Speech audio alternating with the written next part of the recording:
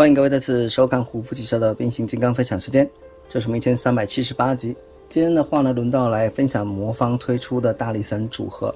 那么上面首先第一波推出的呢是左手边啊这一款是叫做这个，隔壁版权的关系呢，它这个前面这个英文是铲子的意思啊，后面是一个大师，那直接就叫它铲车吧啊。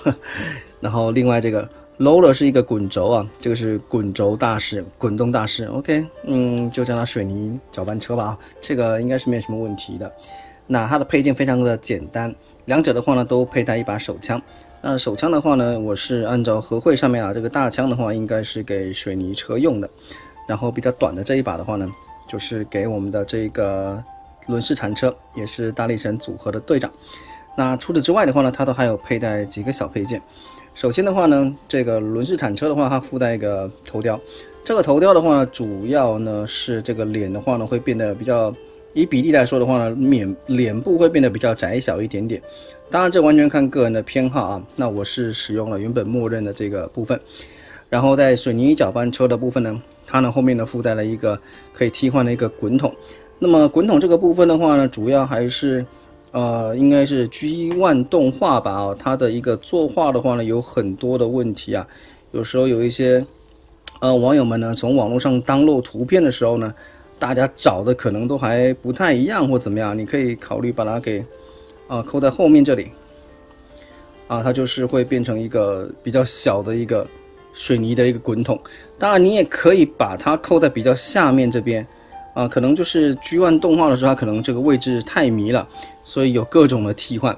啊，当然我个人的话呢，我是不会考虑 装这个了啊。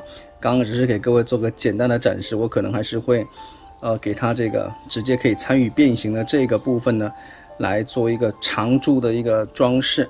那么两两个家伙的话呢，体型呢虽然是叫做小比例玩具，但其实身高已经不矮了啊。这个是官方的一个 Deluxe 等级。所以这款玩具的话呢，啊，顺便再拿出一个吧。这个是之前的一个，呃，Commander Class，你看到没有？这个尺寸已经是非常大，这可能是曾经有一段时间官方有的一种所谓的 W 级勇士级的一个大小尺寸。那我们可以一眼就可以看得出它身上的零件数绝对是不会少的啊。那我们也顺便给各位看细节，又给各位展示一下它的一些可动啊。首先面雕很漂亮啊，都是人脸，这个嘴唇。够性感吧啊，头雕真的是很漂亮。然后头的转动是球形关节，但是转的时候就是会受到零件的限制。上面这块部件应该是要推上去了啊。后面的滚筒已经跟各位介介绍过了。腰身的话呢是可以转动的，而这一款的话呢，它的一个腰身的话呢是只可以拉出来变形的时候会用到，所以它可以稍微侧边转一点点，你可以借位来做一个使用。手臂的平举靠的是这个地方的一个转轴，那这里的话呢比较可惜啊。没有一个过动，手肘大概可以弯到九十度，然后拳头的话呢，当然是可以转动的。我们利用这一手给各位做一个简单的示范。那握枪的话呢，紧实度是没有问题的。裙甲的话呢，严格来说吧，啊，只有侧边可以动。前面这个地方的话，如果你撬开的话呢，会影响到这个凸跟这个凹的一个结合。啊，虽然它这个凸轴一点点啊，但还是有凹的。前后踢没问题，侧踢的话呢，这一块部件啊会形成一点点的干涉。脚的话呢，膝盖，啊，这可能是它外观上一个比较可惜的地方。当然，这个并不是很大的问题啊。这里裂开感觉是大了一点。然后可以看到小腿那一侧啊，零件数非常的多。这里有一个转轴，造成了它的一个这个脚的话是可以往内外有一个简单的一个接地的一个关节的。那么两款玩具呢，都有一个，我个人觉得是一个小小的一个小小的通病嘛。我觉得它的脚后跟感觉都不是非常的。不是非常的稳固，当然你实地调整一下就可以站得稳了，只是你第一时间放到桌上的时候呢，都会怕它会有一个跌倒的一个状况。然后轮式铲车的话呢，我个人觉得它的一个造型的话，一体性更加的好。那以我个人来说的话呢，我是比较喜欢这一款轮式铲车的一个造型啊，呃是。倒不是说两个玩具谁设计的比较好，而是就 G ONE 动画里头的造型来说呢，我就比较喜欢轮胎大一点的家伙在身上啊。当然，加上它这个头部啊，你在转动的时候不会被影响，我觉得是加分是比较多的。然后呢，它这个地方呢是一个很大的一个圆形的造型啊。这个，呃，到底以前的玩具的话，好像这个地方都是轮子吧，还是什么？但是这一次它的轮子的话呢，还蛮妙的，直接藏到身体里头去啊。哦，包括这一款也是一样。他们这两个家伙呢，身上呢都有两颗轮子藏到肚子里头去，腰身一样可以转动，然后裙甲的话呢，这个地方前面可以正常打开，后面如果打开的话呢，就是这个地方啊，就是这个地方会稍微的去影响到它的一个后面的一个紧实度，这个地方会整个的被拉出来。那所以还是没事就把它给扣上吧啊。那因为是用了一个是尼龙的材质啊，所以这一款的话呢，把玩起来是没有什么问题。然后零件数真的很多，在变形的时候啊，真的是会花蛮多的时间去稍微摸索一下啊。特别呢是第一次变形的时候呢，有很多的一个双动关节啊，一些细部的调整，以及啊，我我不得不说啊，这个魔方的这两个玩具啊，它的一个呃细节的一个些卡扣啊，隐藏的卡扣。呃，有没有能够全部扣到位啊？对我这种经常漏变的人来讲呢，真的是一个蛮大的挑战啊。它有很多很多的小地方啊，都是我第一时间呢是没有办法去发现的。那我们呢，先来从这个水泥搅拌车呢，先来一个变形好了啊。它的变形的话呢，比另外一个铲车的话呢，会略微的难一点点。那主要还是在腿部啊，略微了啊。其实两款的变形呢，真的都不真真的都不容易啊，颇有这种嗯，真的不亚于那种 MP 尺寸的那种第三方的这种水呃这种大力神合体的感觉，真的不是那么容易啊啊！刚刚这几个动作各位应该都不用解释，也看得出来。这个地方打开，然后这个地方的两侧呢，把它完全的翻开来，这里两个部件呢给翻出来。然后呢，往侧边打开啊，这个地方的话呢，感觉有点像是汽车合体的那个中心的那个汽车大师的感觉啊。那么这里的话呢，是一个呃一个开口啊，有时候呢它会滑的会掉出来啊，这一点各位知道一下就行了，不用特别在意。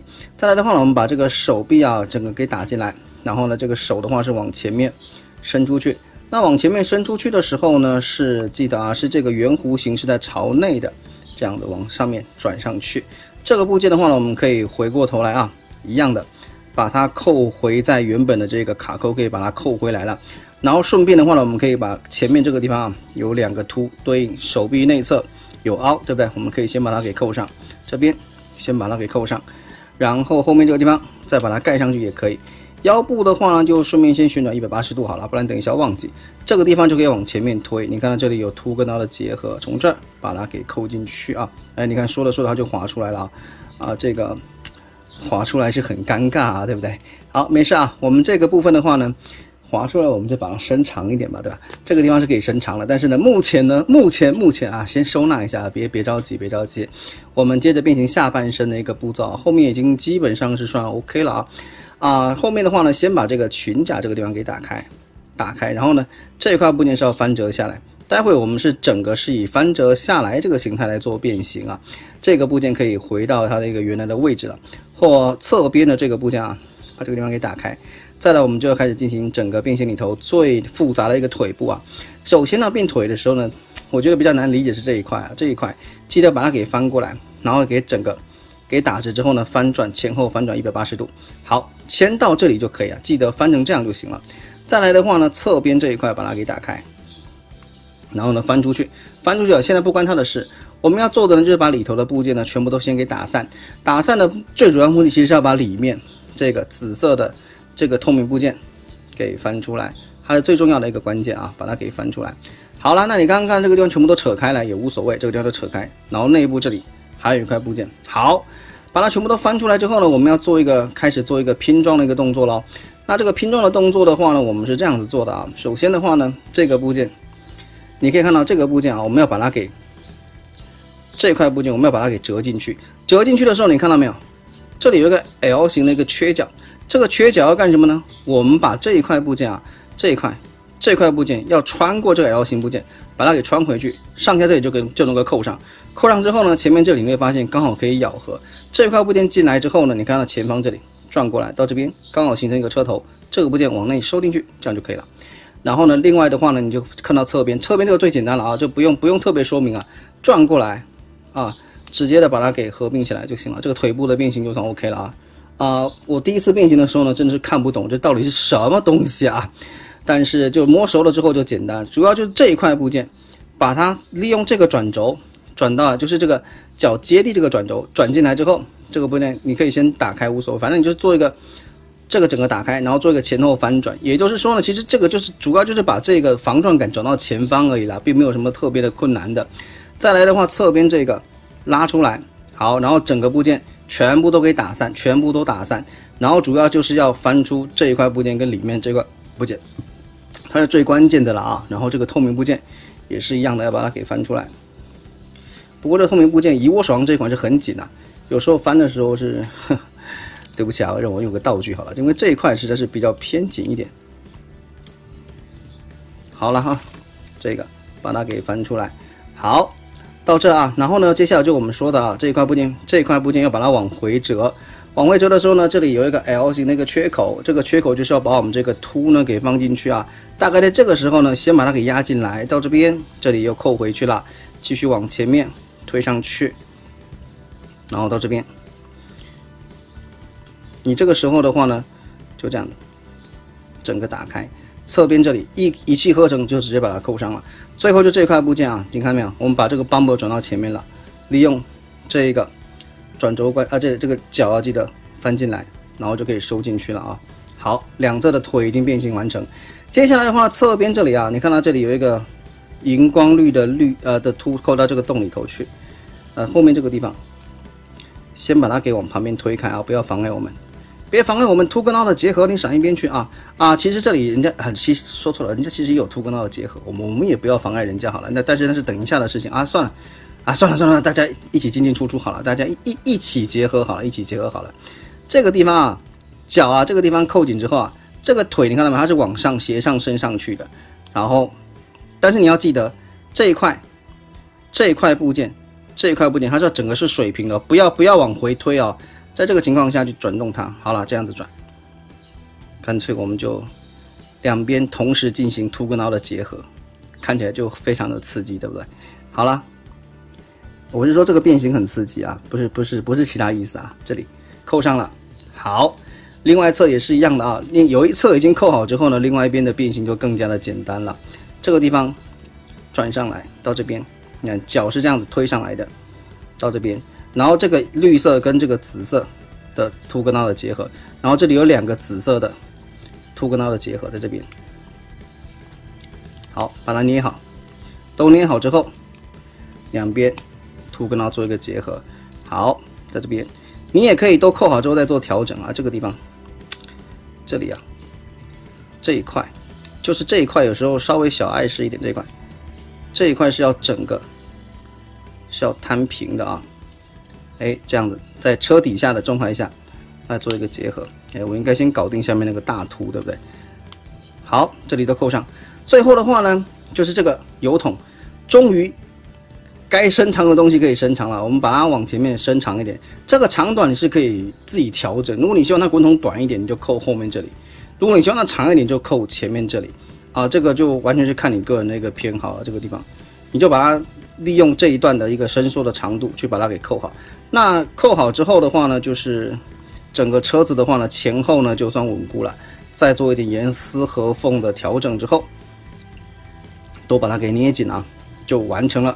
我们这一款水泥搅拌车呢，由一个机器人到一台交通工具的一个变形过程啊，整个过程来讲的话呢，滚动性是没有问题啊，很好啊，啊，变形来讲是比较复杂一点啊，就第一次变形的时候呢，这个车头啊，啊，脚变成车头是稍微要摸索一下，上半身跟汽车大师是有几分的一个神似啊，所以感觉是比较简单一点点。那由于是尼龙材质的关系，变形的时候呢，几乎没有任何的一个呃危险的感觉，可以说是没啊。这块要记得推出来啊，到这边。那整个流程的话呢，如果你熟悉脚的变形的话了，其实也是蛮快的啊。就像我们现在一边讲解一边解说，啊，都都不解说的话，可能四到五分钟，应该还是可以把它变形完成的。那除了前方是紫色透明部件之外，其他都是涂装了啊，然后是一个。打铆钉的轮胎，所以这个滚动性其实还蛮好的，但是你就是可以稍微压在桌上调整一下，啊，完成度还是算是比较高的。接下来轮到我们的这个呃铲车的一个变形过程啊，首先的话呢，头部旋转一百八十度啊，再来的话呢，我们把这个整个背包先给往上面推上去啊，手臂的话先翻折一下了，这个地方推这边，把这个地方打开，再反折推回去。这里也是一样啊，先这里把它顶开，顶开之后把这个部件翻上来，然后呢手臂的话这个地方推不过去啊，就反过来推这边，这个手臂的变形就算 OK 了。然后的话呢，我们把这个手臂的话从这个地方往上推上去，两侧都推上去。轮胎呢，先把它给从肚子里头翻出来。然后的话呢，这个裙甲这个部分还是可以往上面推上来的，到这边把它给推上去。这里也是一样推上去。再来的话呢，我们进行一个手臂啊，手臂这里是一个双动关节，我们把它推上来之后，往这转，往这推进来。然后记得这个时候呢，我们把这个。这个凸啊是要转到内侧，这个空洞转到外侧，然后你会发现呢，这个这个部件啊，这里不是有个缺口吗？这个缺口就是要扣我们手臂这个凸啊，把它给扣进去，非常非常小。这款铲车的变形过程啊，身上大大小小的卡扣啊，多到呢让我毛骨悚然啊。对于我们这种经常漏变的人来说是非常非常非常恐怖的啊。那么先到这里啊，这里有个缺口，轮胎从这里压住。把它往上面这里上来，把它给扣进去。当然你也可以最后再扣啊，因为这个地方在变形的过程中它是有可能会去松脱掉的。那么这里也呼应到呢，我们一开始说的，它的一个手臂啊，有可能是轮胎的部分。那你看这个时候推过来这边位置几乎可以说是重复啊，我相信他们是有意为之啊。所以这个设计来讲的话，我觉得是高度致敬的。那么呢，这个部分的话，我们就把它给往下推。这个地方两边有两个洞，对应两侧有两个凸，把它给扣上去。脸的话呢，就盖起来了，因为已经翻转一百八十度，所以脸部的话呢，就算看不到了。然后的话呢，这个其他部件我们都暂时先不要管它，我们进行腿部的变形。腿部的变形呢，相对来说呢，嗯，比较没有那么难理解了啊。首先的话呢，把它该打开的位置呢，都给打开。这个地方，呃，侧边这里，我记得是从这啊，记得是从这个地方，把这块部件。给挑出来，这个脚的侧边这块部件啊，这里这里错了错了，这里先把这个地方给打开。整个打开之后呢，我们要做一件事情，我们先做最重要的一个部件的一个工作好了。我们这个脚啊，它本来脚是这样，对不对？我们先要把它反转一百八十度到这里，然后呢，然后呢，我们要把里面这个大腿、小腿这里的话呢，是有一个板子要翻出来的，你看到没有？内部这里有个小板子在里头，我们要把它给翻到外面去。那具体的做法就是从这个地方往内推，把它给往外顶，顶开，这个地方推出去，这块部件呢就出现在这里了。我们再顺着把它给抠出来。好，抠出来之后，哎，推过头了啊。它其实它就是要补充这里的造型而已。这个盖板再于再再推回来，就是这样。它它的目的其实也就是如此这般而已。然后的话呢，这个部件的话呢，就往内推一下，这样就可以了。先到这一边，啊，不对，我们先把这整个变形完好了。这里解开之后啊，这里你会发现这里有很多很多的部件，没关系，有什么你就抠什么，全部把它给拉出来，全部把它给拉出来，通通都拉出来。这里也是拉出来。然后这里有一个旋转的转轴，转上去，转上去之后，你就可以发现到这到这边，跟前方这里进行一个结合，从最远的这个地方扣下去。然后呢，这里第二个卡扣扣上去，严丝合缝的把它给扣上。好，这样一来的话呢，就完成了它的一个呃侧边那个变形，它已经相对比较稳固了。再来，我们这块部件的话，就是直接的把它给往上翻过去。那翻的时候呢，翻的时候呢，这个地方留意一下，就是说它这个地方，它的主要的结合卡扣呢，在在这里啊，这个地方。它这里有一个小小的一个缺口，这个缺口最终的话呢，要跟这个凸做一个结合，这是它最终的一个组合的一个一个位置点。那就这样子把它给按下来，中间有很多的双动关节啊，这个碰运气啊，有时候运气好的话呢，一碰就直接全部扣到了。然后啊，这个轮子的话这样转下来啊，它这里的话呢，内部是有一个结合的一个卡扣的，但是呢，我推测是这个地方吧，这里有一个小小的一个，哦操，我只能推测是这里。因为我扣的不是很紧，我我我因为不是很清楚到底我扣的是对还是不对。那么这一侧已经变形完成了，OK，各位应该看的，嗯，没关系，我们这 这一侧还有一次的机会给各位做一个示范啊。从这个地方把它给拨开来，这个地方，那因为拨开这里，有时候我这一款的话是稍微偏紧一点，不是很好弄出来啊。哎哎哎，对了对了，找到一个手势就开了。那它的一个步骤就是什么？脚底板这里，在任何时候你都可以给它反转一百八十度。好，然后呢，这里这个小盖板要把它呢弄到前面来，我们就是从内往外推，这里往外推，好，推出这个缝，推这个缝之后呢，把它往外抠出去，然后呢，顺势再把里面这个小块的也给翻出来。我们的目的就是把这个小的这块零件给翻到外侧来，填补这个造型啊。它的目的就是这样而已。好，到这边，OK 了啊。然后推到内部之后，这个地方记得这里回过头来，这里给它反折。然后呢，这里面有一个非常飞的非常多的部件，全部都翻折出来。因为零件很小啊，但是呢，由于是尼龙的材质。所以的话呢，就是强韧度是不用担心的。然后透过这个地方那个转轴，把它给转到前方去。不管你怎么样，反正呢，你就是把它从最远的那个开始扣，从最远的地方开始扣，一路扣下来，它绝对可以全部都扣上。好，到这边它可以达到一个调节这些关节的一个功能。然后就是我们刚刚提的啊，这个地方，这里。最终要跟这里扣上，我们这个地方你去瞄准它一下，后面这里，